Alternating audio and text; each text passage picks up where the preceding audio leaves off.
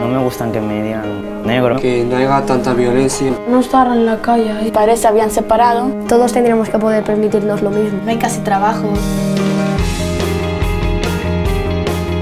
This is the Casal dels Infants, an NGO which helps children at risk of social exclusion. We ask these kids to draw their problems. Then, without telling them, we turn them into a skateboard design.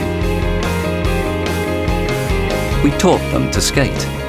And while they were skating, they realized that all the problems they had drawn were disappearing.